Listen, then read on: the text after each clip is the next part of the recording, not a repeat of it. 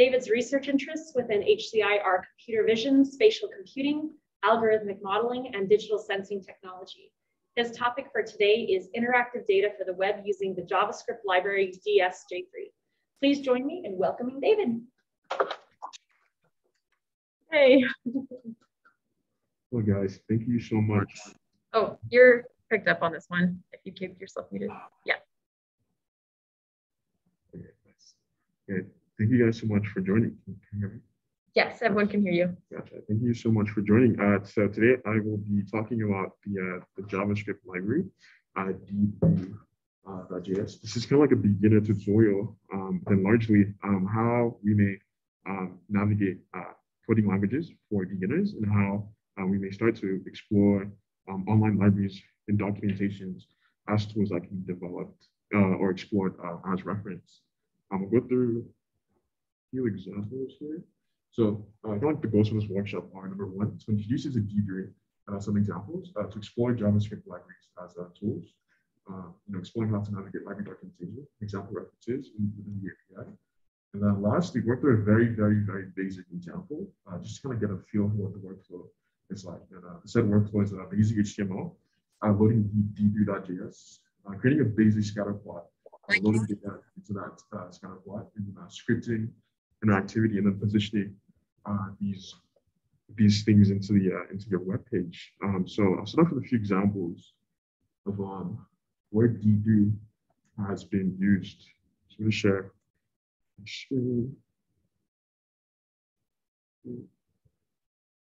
Nice. So here's the uh, the D3 website. Uh, the top here, I kind of like the overview of the library. Um, right, as a D3.js is a JavaScript library for uh, manipulating documents based on data. Uh, D3 helps bring data to life using HTML, SVG, and CSS. Uh, D3's emphasis on web standards gives, gives you the uh, full capabilities of modern browsers without tying yourself to a proprietary framework, combining powerful visualization components and data-driven approach to DOM uh, manipulation. So right here, we of um, these examples, and I'll drop this link in the, uh, the chat here uh, for you to view before and after this workshop. But in that GitHub file that I shared earlier, um, a lot of these um, links are in the, uh, the workshop.html document that I included. Uh, so we'll start with, with a few examples.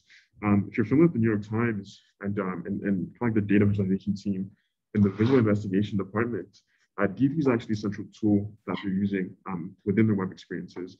A lot of this data is processed in R, but um, to kind of like make this data approachable, accessible online, using D3.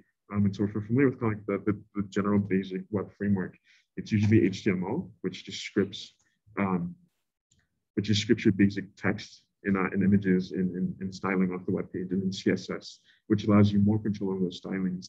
And then JavaScript, which allows you to, to kind of like add depth with your computation to those things. And JavaScript's the language. And then you have libraries of JavaScript, which is essentially uh, pre-written um, algorithms for you to, to like embed into your uh, web page. So this is one example uh, from 2012 showing counties uh, blue and red moving left and right. Um, and as said earlier, it, it does use um, SVG documents. So this is something you can quite literally draw in let's say Adobe Illustrator or, or Photoshop and then bring it into D3.js to, uh, to animate.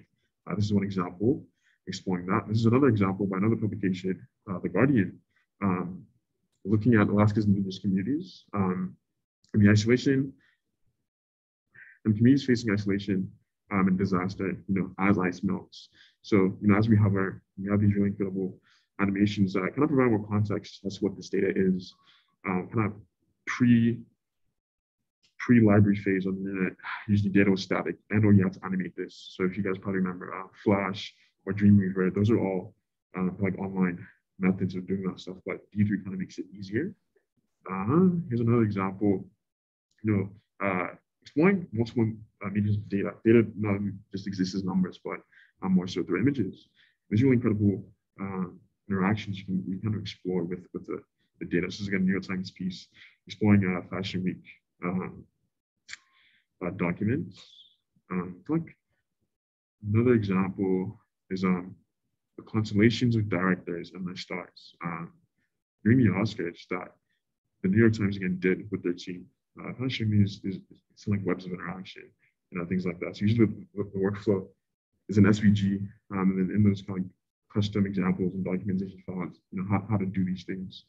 Um, but yeah, so for today, uh, we will be working with a very basic um, example that I've kind of found here for us. But it's essentially the scatter plot, and I'll be showing you how to, to kind of work with these documents. And so, um, as I said earlier, this is a this is a like a beginner uh, workshop, and so I'll, I'll, show you how to kind of work with pre-written examples towards kind of finding um, or editing towards your own like needs. So at the top here, we kind of have a, a basic HTML setting up. Um, this is this is what you type essentially into kind of like your IDE. Um, but before we go further, has everybody had the opportunity to download uh, atom.io? Just uh,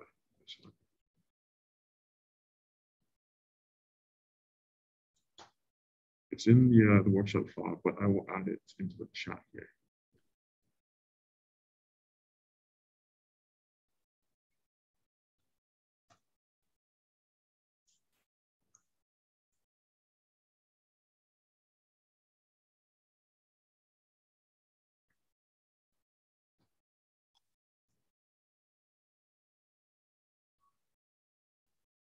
If you also have a text editor or um, a WordPad, that's also fine. You just have to save your file as an HTML, or if you just download that um, file from the, uh, the GitHub here, um, just open that.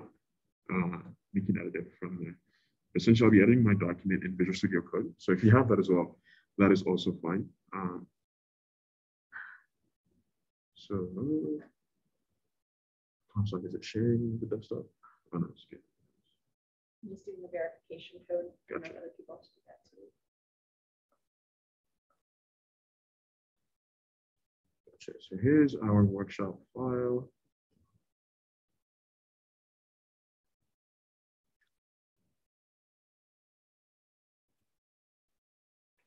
So the D3 documentation, uh, examples I showed here, also included in that file. And then firstly, we're gonna download atom.io.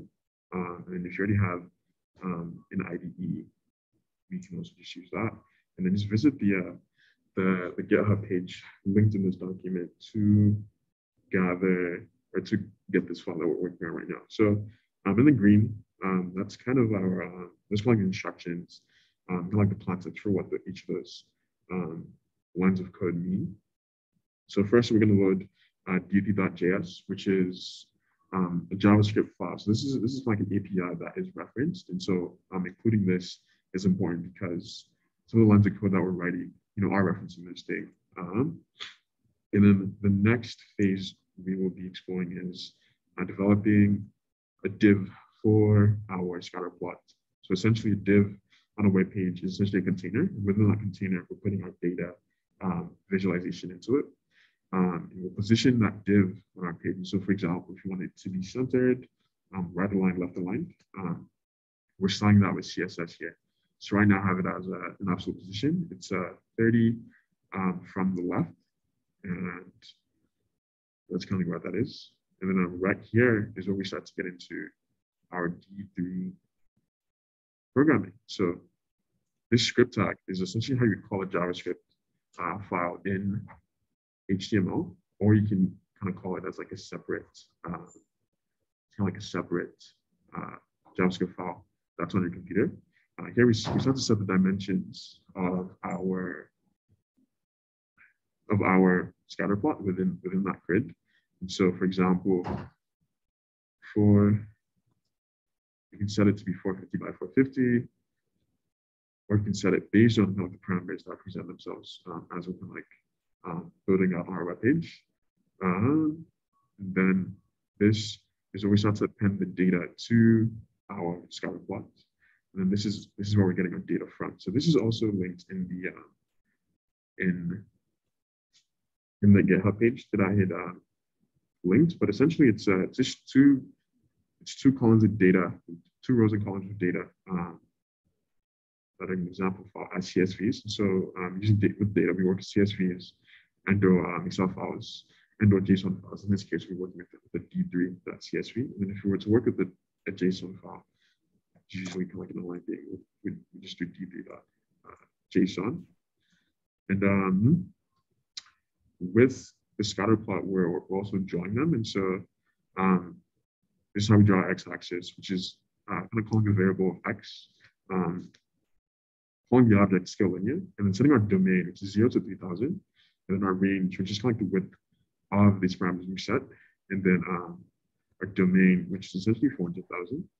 And then the interactive aspect of this is uh, calling out uh, tooltips. And so when you hover over a dot on the scatter plot, it will tell you, it will give you context about that dot on the scatter plot and what, and, uh, what it means. And then these are just mouse over functions from JavaScript that allow you to um, interact with these pages based on mouse hovers and, and things like that. And then this is kind of where and we're adding context. And so um, this is where we kind of concatenate the data um, with, with things I may, we might want to say. So when the link is at this level, um, there are uh, there are uh, this many pelicans and uh,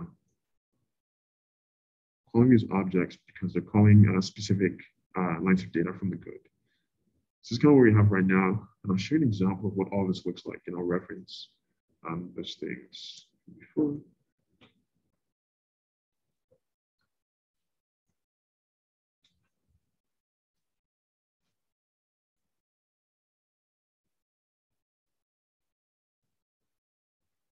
So this is a scatter plot we talked about. So this is this is our domain that we set earlier.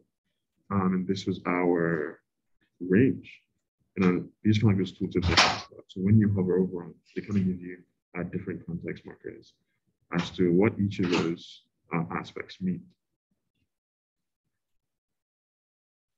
So as we said earlier, uh, D2 is very useful, uh, kind of like looking at what's existing uh, from what the what the authors of the library have, uh, have given us and kind of customizing it to our own needs.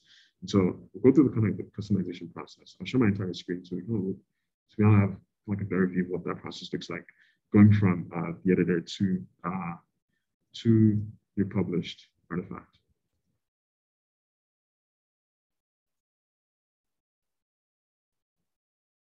So right here, there. Okay, awesome. Sweet. So firstly, I will adjust or adjust the size of the grid. So we go here, we hit that refresh, and there that changes the size of that. Um, and we can start to increase our domain by changing that value in like the domain sheet. Once you go back, and just hit refresh, it changes that we change them according to like the, the shape of our uh, data. So if you have more things you kind of wanted to display on the x-axis, you would increase the domain of, of that value on the x-axis. So right here, uh, we kind of very smushed uh, nice data. If you want to space those out, we give it more space. Or in this case, less space.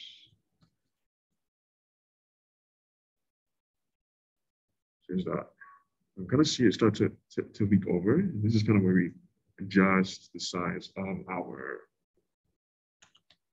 the width of our uh, grid. So change to 600, then refresh that page, and then there it is. So at the bottom, we're kind of seeing the, uh, kind of the context bars pop up, and I'll show you how those are populated. Um, so right here, uh, we have this string. So a string is just basically um, text, and then we're calling variables through this uh, JavaScript object from, from uh, these files. And what we're doing is we're concatenating different pieces of text with different objects within those things. And so, um, for example, I can change this to um, this is, and then that is. Once we save that and refresh the page, we start to see those things change. So this is 1494, that is 229,500. Uh, and we can kind of customize those things to our needs. And so for like um, this amount, this amount of oranges costs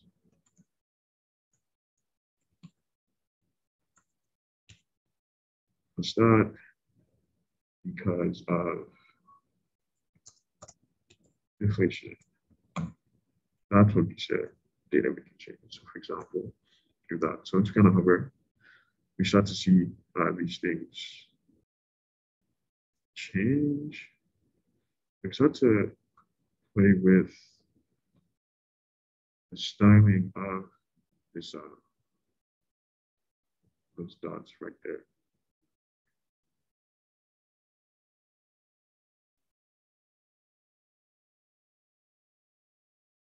Kind of color code.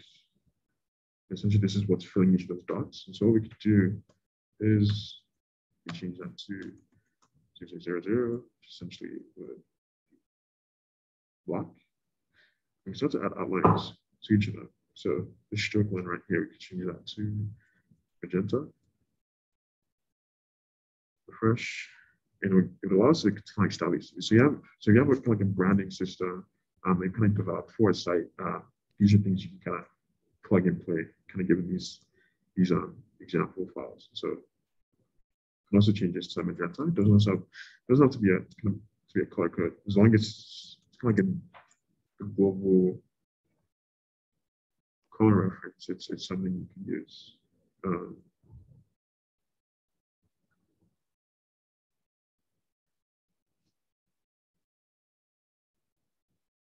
and you can also change opacities. So right now I've got a, I've got an opacity of uh, 20, um, which reduces opacities. You can play with how transparent those files are. So we'll play with uh, a value of one, and I'll refresh that. Let's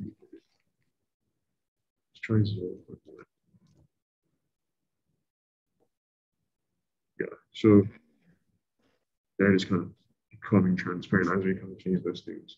But right underneath is going to styling. Right here's where, you, where you're at, playing with the, uh, the tooltips. Um, above is where you're kind of processing uh, the uh, data. And then right here is where you're kind of setting the size of your uh, of your documents. But uh, yeah, that's about it for for this for this kind of like demo. Any questions thus far? Where did you get the data? Uh, so the data is an example file from Kaggle. So is anyone familiar with Kaggle? It's like an online source for data scientists.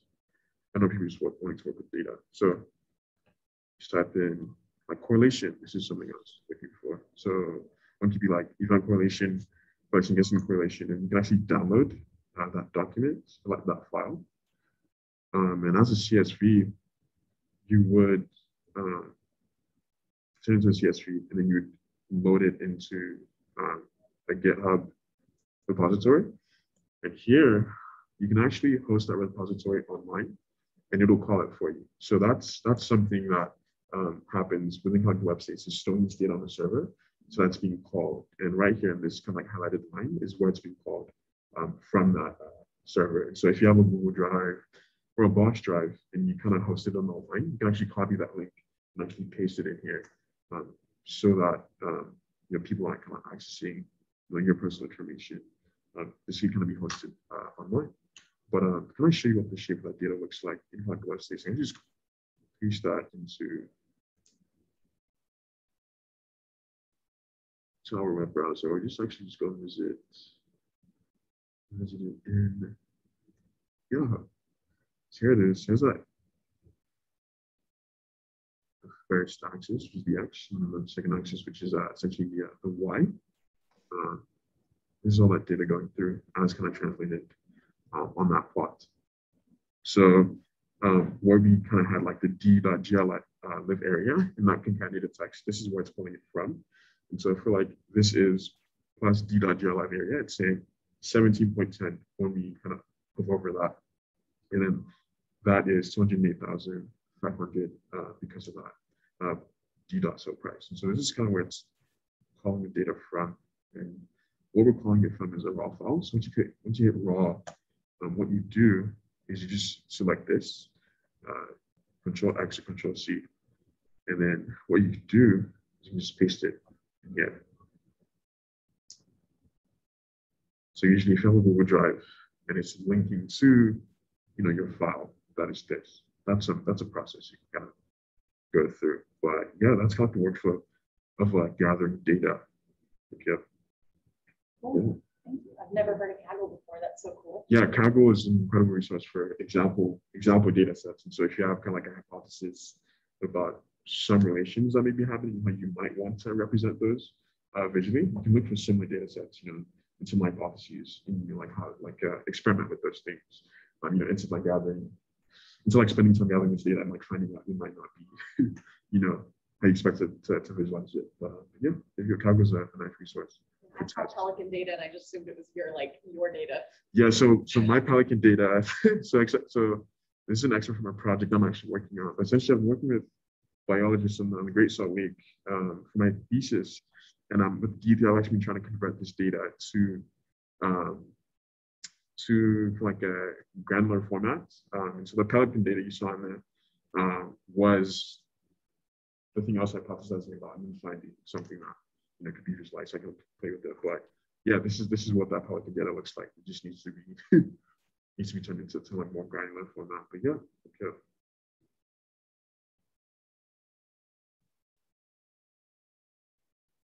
Well, we could all take a few minutes to kind of play with this if Okay. you want to just walk around and help people or help people on Zoom if they're like trying to do Yeah. things. Okay.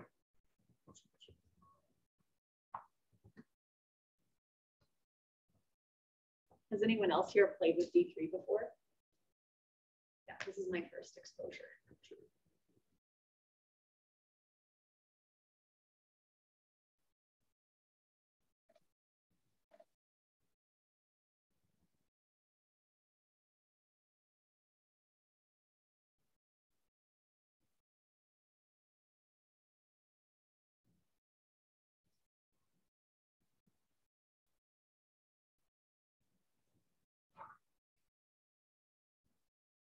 I'll walk around.